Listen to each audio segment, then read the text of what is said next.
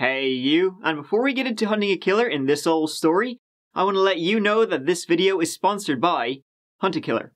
Hunt a Killer is a subscription service that puts you in the detective's seat. Every month, they send you a box of evidence in the case of a fictional crime. Your goal, detective, is to analyze the evidence, eliminate and hone in on suspects, and finally catch the real killer.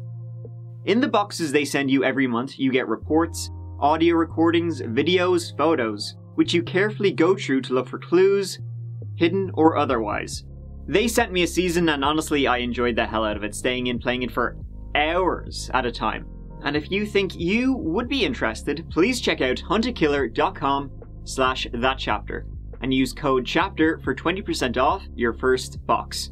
Also, part of the proceeds go to the Cold Case Foundation, an organization that works to bring justice and restoration to cold cases. Pretty relevant to the things we talk about uh, here on this channel.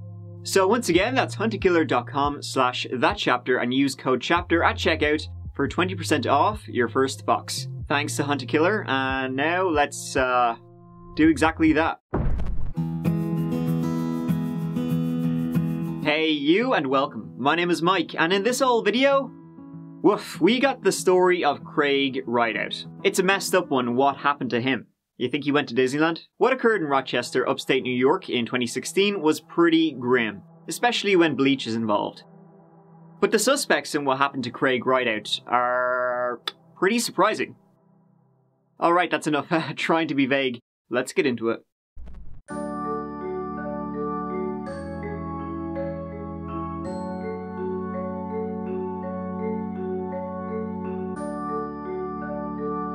Craig Rideout was born in 1968, raised in upstate New York near Rochester, with one sister, Robin.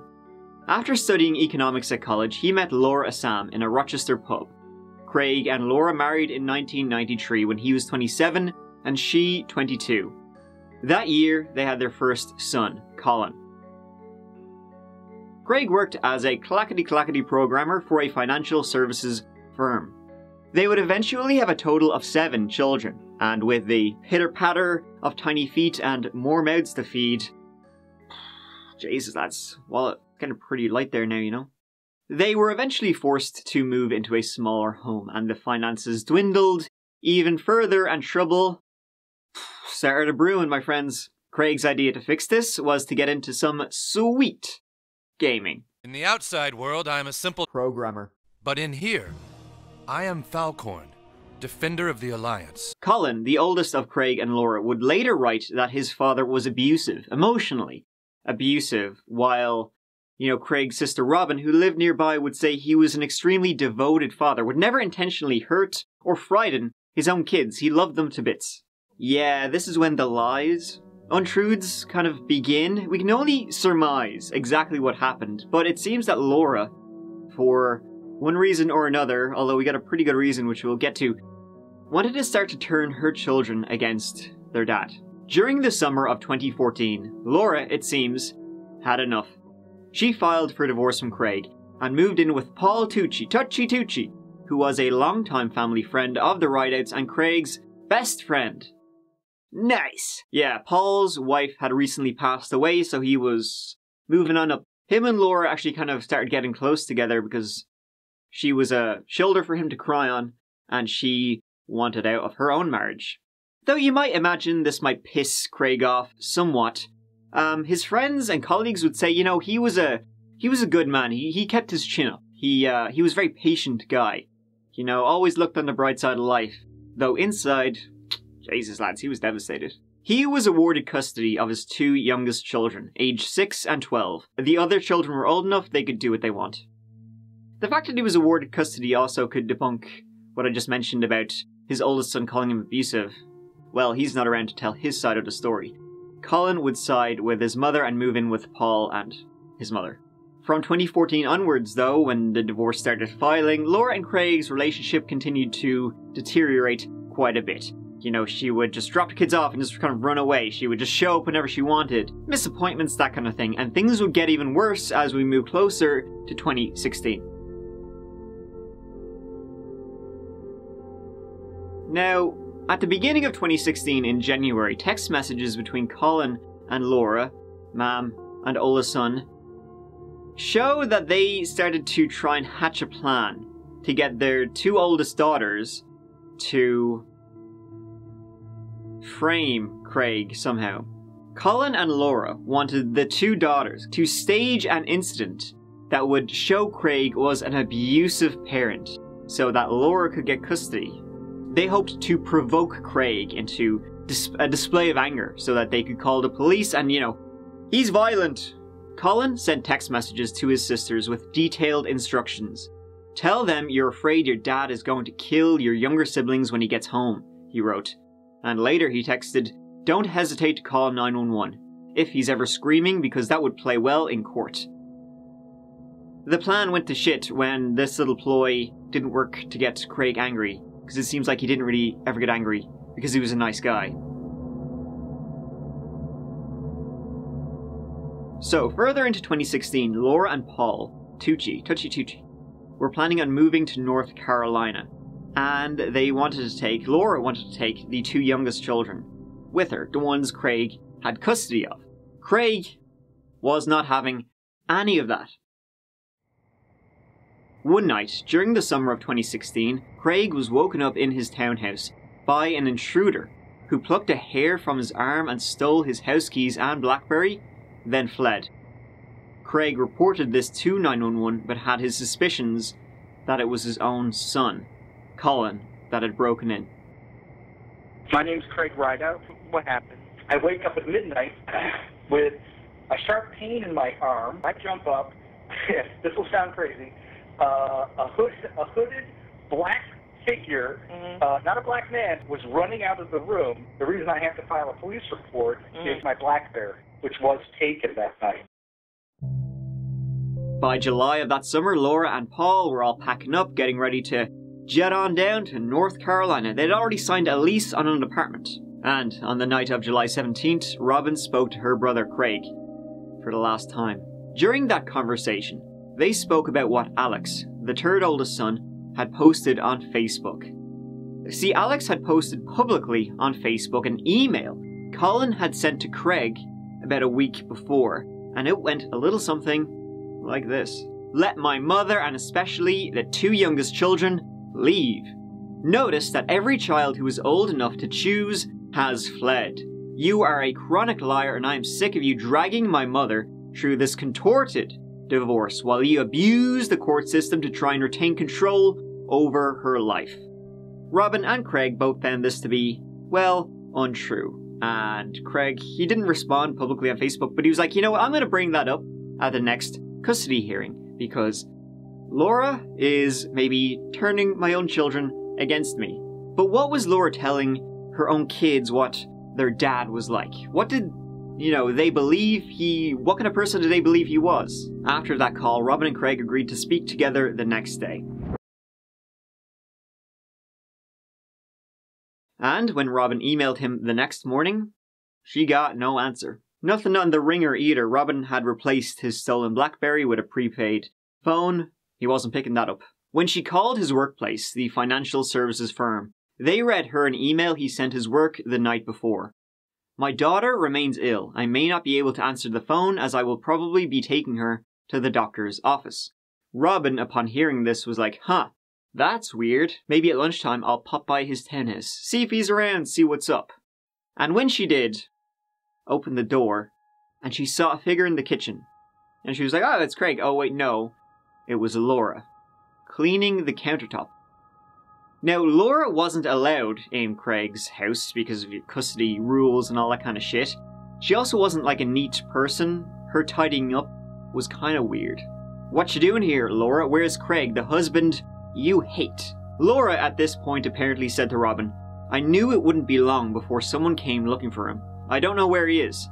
Laura said she was there because the kids Craig had custody of woke up alone in the house. Laura then left, and there was no sign of Craig's car.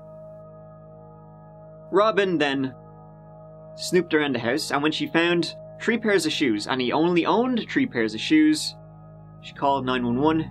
Craig Rideout was reported missing. my brother. Has not been answering texts or cell phone calls or emails. And I could be making a mountain out of a molehill. That very same day, 50 miles south of Rochester, a farmer was biking to work early in the morning down a quiet country road. As he was pedaling away, he spotted two cars parked by the side of the road, with two figures nearby. Three hours later, as he was biking back, the figures and the cars were gone, but a shovel remained. Heading over toward it and following a trail of trampled grass into the woods, he found a brown tarp and a bare foot visible underneath. Sheriff's deputies soon arrived. There's a foot there when they heard a ring ring coming from underneath the tarp. Pulled up, took out the phone. What was the caller ID saying? Robin. At that very same time, police arrived at Craig's townhouse, where Robin wanted them to force open Craig's locked bedroom door. However, they refused as they needed a warrant to even enter the house. Laura and Paul soon arrived there. Laura said she was tidying up, put things in the basement, but had no idea where Craig was. And when the police eventually did search the house and got a warrant, they opened the locked bedroom and found nothing inside. But when they searched the basement, they found blood splatter on the walls and shelving unit. And inside a bag, they found what appeared to be a garrote. The police were pretty quick to figure out whose body it was under the tarp. After all, they had a phone calling, a phone Craig never mentioned to his soon to be ex wife that he had replaced. Laura did not know anything about this phone, which was interesting when Robin told the police, Hey, you know, just a few weeks ago someone stole Craig's phone. But only a few people know he had it replaced. So, the police had a crime scene and a body. But, how do you link those two together? The autopsy of Craig was grim. Drain cleaner had been poured all over his face and fingers to prevent identification, though he was successfully identified due to dental records. It appeared he had been beaten and garroted. Cell phone records pinged Craig's phone on early July 18th from his home to where he was found, leaving his home at 3:15 a.m. CCTV from businesses along that route showed his vehicle and also Paul Tucci, Touchy Tucci's car, on their way to where he was dumped. The day after Craig Rideout, uh, his body was found, the police got a call. Someone said two young men were throwing big black bags into a local pond called the Devil's Bathtub, which is a friggin' awesome name, by the way. When they arrived, the police met Colin and Alex. So what's going on? You and your brother out for a walk? Yeah, basically, it's. I mean, we were just like out, and then suddenly people show up, and it's like, well, that's. I've never really encountered police before, so it was like. You've never been in trouble before, right? No, I, I don't really do drugs or drink or really party. I've only. How old are you? I, I'm 19. I'm doing college next year. Tell me, you tell me what's in that bag before I see what's in that bag, it'll be better for you. You know, I, I don't know what's what's in the bag. And found in the bags were empty bottles of drain cleaner, gloves, and bloody clothing. So the police asked Alex, What you dumping all this shit in the pond for? He said to them, My mammy told me to. Alex and Colin didn't know Craig's body had been found, so the police asked them what they thought could have happened to their dad. To which they responded, He must have left town, you know, gotten sick of everything, sick of all his kids, and just fucked off. He'd always, you know, he'd always threaten, you know, oh, I could just disappear. Figured he was on the next flight to Mexico. Have you heard anything from your dad? Well, I, I emailed him last night. I didn't hear. I heard from him Monday, um, and he picked up my brother and sister. I think Tuesday. Like I've I've been kind of worried about him for like stuff's just been freaking me out. Alex and Colin were then arrested. The police then rocked up to Laura and Paul's house, and she too was arrested. Inside Laura and Paul's home, they found Craig's car key, which, you know, uh, not good for them. In connection with this homicide investigation, we're announcing the arrest of Alexander Rideout and Colin Rideout and Laura Rideout. The two brothers, Alexander and Colin, were arraigned in uh, Mendon Town Court and charged with tampering with evidence of felony. Six weeks later, Paul Tucci, Touchy Tucci, was also arrested. Four people arrested, and all four made bail. They were only charged with evidence tampering. The police were still trying to build a case against Laura, Colin, Alex, and Paul and figure out what exactly happened to Craig. The police would later find CCTV of Laura, Colin, and one of their daughters shopping in a local Walmart. Buying what? A lot of drain cleaner. What else? Come on, that's what you usually buy when you go shopping, right? They need those pipes flowing, baby. The next day, just a few hours before the murder, Laura and Paul were spotted buying a large tarp, bungee cord, and more drain cleaner. Colin was also spotted at a different Walmart buying a shovel. What the investigators think happened is this Laura and Paul brought the two youngest kids back to Craig's. They were staying with Laura and Paul. And that night, one of them, possibly both of them, went to speak to Craig about the move to North Carolina. Then, possibly, Laura lured Craig down to his basement where he was beaten, possibly with a pipe, a hammer, something like that, before being gar- garroted. Um, the garroting though wasn't very good. It's you know only supposed to like choke you. This cut his neck and sprayed blood just everywhere. So, this led to a lengthy cleanup. Laura wasn't supposed to be there when Robin arrived, you know, when she arrived looking for Craig and she found Laura cleaning up. Laura was supposed to have been long gone by that stage. They didn't think it would be as bloody as it was. The police then, thinking, remember Paul's wife, she died, and pretty soon after he got with Laura, they began to suspect if it was possible he poisoned her. Hey, Brett, the late wife of Paul Tucci died in 2014. Her name was Jennifer Tucci. A source close to the Rideout murder investigation told me that a medical expert is taking another look at how she died. When Paul Tucci walked out of the sheriff's office Monday, he knew he was a suspect in the murder of Craig Rideout. What he did not know is that an investigator is looking into how his wife died two and a half years ago. This is a picture of Jennifer Tucci. She is buried in St. Mary's Cemetery in Perinton. It's a modest grave site, protected by a wreath and a little Christmas tree. The source says an autopsy in 2014 determined Jennifer Tucci died from complications from alcohol. But after Paul Tucci was arrested in September for tampering with evidence in the Craig Rideout murder, our source says a medical expert was directed to start the process of re-examining tissue left over from Jennifer Tucci's autopsy. She died of liver disease and, is it possible he made it look like liver disease? They wanted to exhume her body, but the medical examiner was satisfied it was natural causes. The trial of Laura, Colin, Alex, and Paul then began in the summer of 2017. All four were tried together. All pled not guilty. The prosecution had the CCTV footage, clothing found in the bags at the Devil's Bathtub, which matched all four of them via DNA, and all four were charged with second degree murder. The motive, the prosecution said, was simply custody, so Laura and the family could start anew in North Carolina. The defense, however, argued they didn't really have much of a motive, and that, you know, all that stuff on the CCTV that they bought in Walmart, you need all that stuff for moving. Come on. Who doesn't need, you know, when you're when you're moving house, uh, a tarp, um, a shovel, bungee cord, like a shitload of bottles of Drano, drain drain cleaner? You need all that stuff. Come on. What?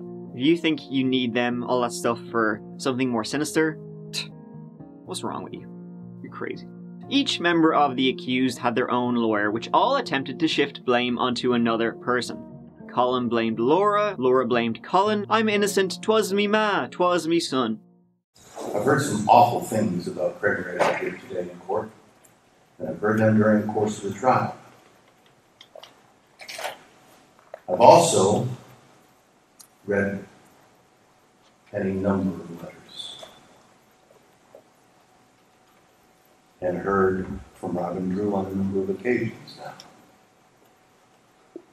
And depending upon which side of the aisle you're sitting up there, Craig Rideout was either one of the greatest human beings God ever put on this earth, or awful. My life experience tells me that neither one of those is possible. Some of the letters I read on his behalf from people who have known him for a very long time speak very highly. It was evil. It was diabolical. Alexander Rideout was in the basement, and he was at Double right at Devil's Ponds. Colin Rideout was in the basement and was in Double Ponds. And was there at the time Craig Rideout died. Based upon the blood spatter expert who testified here at the trial. And that same group put Laura Rideout in the basement at the time Craig Rideout was killed. This is one of the ugliest things I've ever seen. On July 25th, 2017, Laura and Colin Rideout were convicted of second degree murder, and Alex Rideout of tampering with evidence. Paul Tucci, the Tooch, he, he was acquitted for one reason or another. Alex was sentenced to two to eight years, and Laura and Colin received the maximum sentence of 25 years to life. Despite Paul being acquitted, uh, the detectives definitely believe he had something to do with what happened to Craig. I think that the jury had to consider, uh, you know, what, what we put on as evidence, and I think that the, they did that, but I, I do think it was incorrect, and particularly with regards to Paul Tucci. Why? Because I believe Paul Tucci had a major part in this crime. I think that Paul Tucci, you know, without any of the four of them, I think that this crime has far less suc- chance of being successful. So, a lot of people think that somebody of Paul Tucci's size would be capable of doing the murder, whether it's to hit him over the head or to strangle him, and also to carry the body out of that house and drop it off in Yates County. What do you think? Very particularly, Laura, Laura Rideout was about 106 pounds. Colin, not a very big guy either. And, and it's going to take more than one person, regardless of, of you know the size of Colin and Alex, to take that body out. Also, the force needed to, to crack someone's skull is pretty, you know, that's a good amount of force. So, yeah, I would think that, that you could reasonably, uh, you know, draw the conclusion that Paul Tucci had some involvement there. Well, as we went through the evidence and, you- look at, at what was presented, some of the things that, that were presented um, were the video of, of Laura Rideout and Paul Tucci at the Hudson Ave Walmart uh, just hours prior to the occurrences. And what they're buying there is tarps and acid and bungee cords. The body's ultimately found wrapped in a tarp, that same tarp, with bungee cords, those same bungee cords, and, and, the, and the victim was disfigured with acid, that same acid. So, do you think Paul Tucci killed Craig Rideout? I do. Did you kill Craig Rideout or were you involved with the murder? No. I've never, ever stepped foot inside of 135 New Wickham in, in, in any of it. We, we were dropping kids off, picking up kids. I've never even been inside the guy's condo. Where were you the day that he died? Where were you? I was at home. Okay. Do you know who killed Craig Rideout? I don't. I, I don't think anyone does. Did Laura? No. Laura was with me at home. She, she was with all of us I mean, at the campfire. She was upstairs. What about Colin? Colin was seeing the same thing. He was in the campfire. He was in and out. There's an investigator. His name is David Bolton. He's convinced that you were in the basement um, that day and that you were involved with the murder and that you used an iron to strike Craig Rideout. Did you do that? No, I've never been inside 135, the Wickham. Why would he say that you were? Why would he say that you did?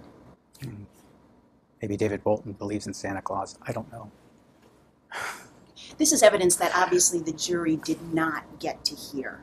And he also said he believes that you, and again, the jury did not get to hear this, that you helped to carry Craig Rideout's body out of that basement because Laura and Colin could not have done that on their own.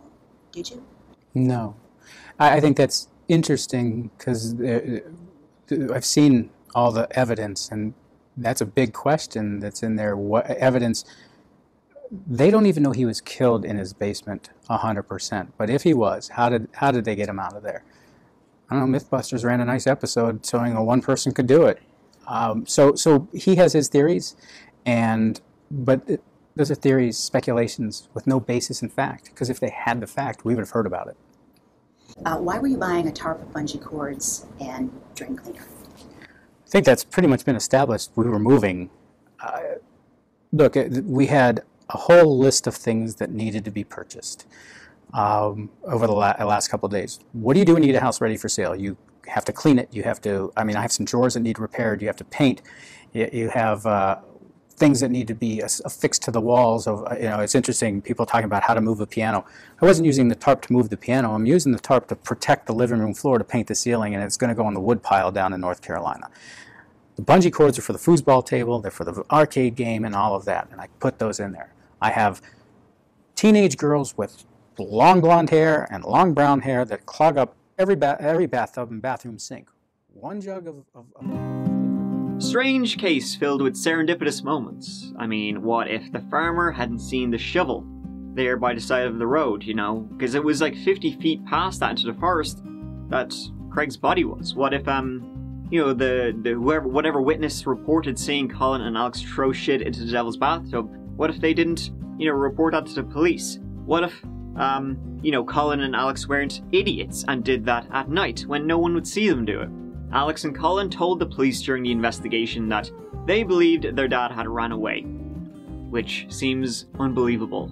But, you know, like I said, serendipitous moments, maybe the police might have believed them if they hadn't, uh, you know, done everything wrong.